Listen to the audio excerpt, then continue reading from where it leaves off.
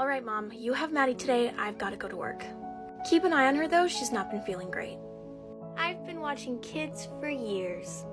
We have a fun afternoon of pictures planned, don't we, Madi? All right, first things first, let's deal with that hair. How dare you tell me no? You get here right now, young lady. There. That's much better, isn't it? Don't you feel good now?